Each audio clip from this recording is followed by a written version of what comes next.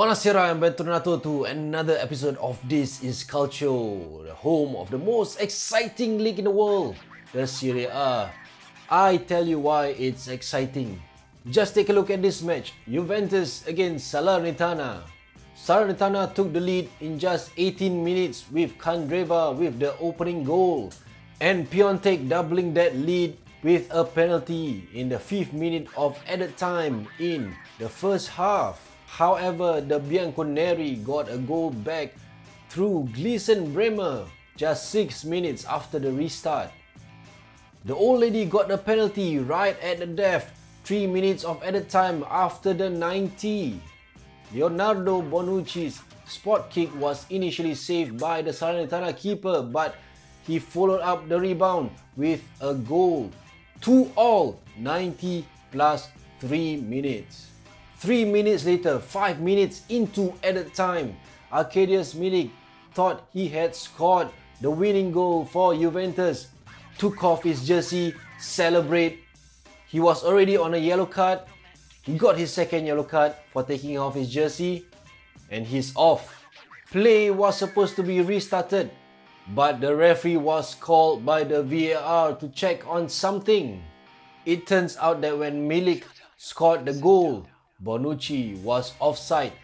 It can be argued that Bonucci wasn't interfering with play, but his attempted header could have fooled the keeper. Goal disallowed. Two all. And there were three more additional red cards shown one to Fazio of Salernitana, one to Juan Cuadrado, and one to Massimiliano Allegri.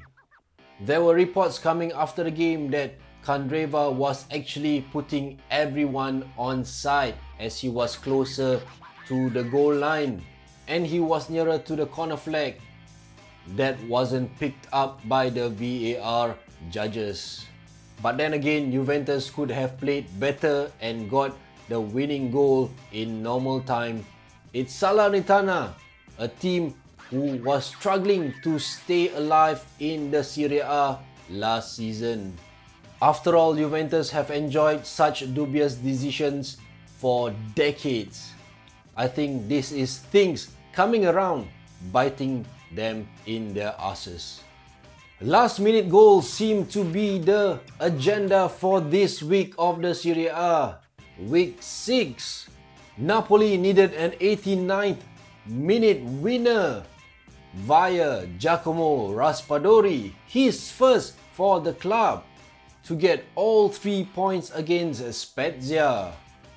Luciano Spalletti was sent off with a second yellow card alongside one of Spezia's coaching assistants.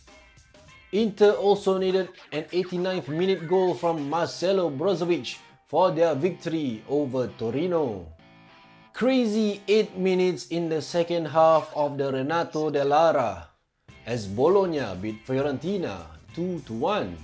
A goalless first half was followed by 3 goals in quick succession. 10 minutes after the restart, with Lucas Martinez Quarta of Fiorentina turning in Saponara's low drive for the opening goal. Five minutes later, Fiorentina defender Igor made a mistake and allowed Musa Barrow to breeze past him and scored the equalizer. Three minutes after that, it looked like Denso Kasius had fouled Lucas Martinez Quarta before squaring the ball to Marko Arnautovic to score the winner. But the VAR or the ref or the linesman have nothing to say about that. This was Bologna's first win over Fiorentina in 16 matches.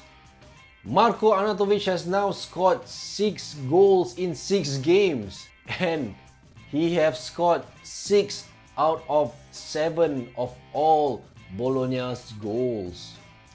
Monza finally got their point in their maiden season in the Serie A after their one-all draw against fellow promotees Lecce. The Pantofola d'Oro Superleggera 2.0 The Superleggera 2.0 of course is handcrafted as with every other Pantofolo D'Oro boots, it is made with a flexible kangaroo leather upper and has flat laces for optimal ball control. Leather collar offers a reliable ankle support. Studs offer optimal traction and stability. Pantofola D'Oro Del Duca comes in white as well.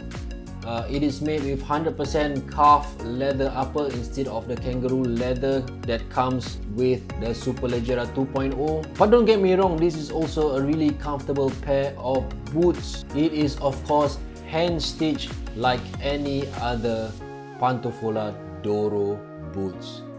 And thanks to Pitch Performance, uh, they are giving a 10% discount if you use this code upon checkout.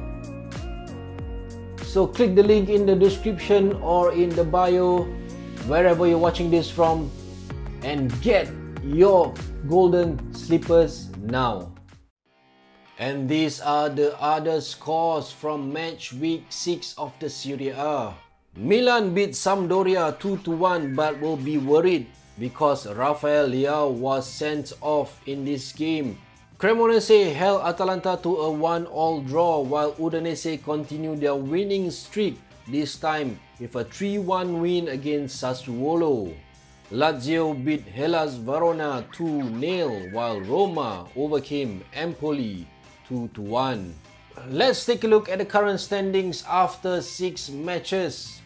Napoli, Atalanta and Milan are still at the top of the table with 14 points while Udinese and Roma are just one point behind them. Inter in 6th, a point further, while Lazio is in 7th with 11 points. Salernitana remains in the top 10 despite their draw against Juventus. While at the bottom, we see the usual suspects Monza, Sampdoria and Cremonese Monza with the solitary point, while Sampdoria and Cremonese have two. Lecce is not far ahead of them with only 3 points. Top of the table clash this coming week of the Serie A. Milan up against Napoli at the San Siro. The Partenope will be without some players, Hirving Lozano and Victor Osimhen while Milan will be without Ante Rebic, Origi, Krunic, Florenzi, Zlatan and of course Rafael Leao after his dismissal in the previous game. Atalanta will take a trip down south as well to the capital as they face Roma. Roma is just one point behind the top three and and Jose Mourinho would want to continue his form after that devastating loss against Udinese two weeks ago. And here are the rest of this week's matches. Salernitana will entertain Lecce on Saturday morning while Bologna will meet Empoli on Sunday night. The Ligurian battle between Spezia and Sampdoria is scheduled to happen on Sunday morning, while Torino welcomes Sassuolo also on Sunday morning. On Sunday evening, high-flying Udinese welcomes Inter to the Dacia Arena, while an out-of-sorts Fiorentina welcome Hellas Verona with Antonin Barak set to face his former club Will Monza get any points as they welcome Juventus? Promotis Cremonese will face a Lazio on Sunday night as well. And of course, on Monday morning, the top of the table clashes Roma, Atalanta and Milan up against Napoli. Will we see another exciting week of Italian football? What kind of question is that? Of course we will. Thank you for watching. That's all I have for you this week. See you next time. Ciao.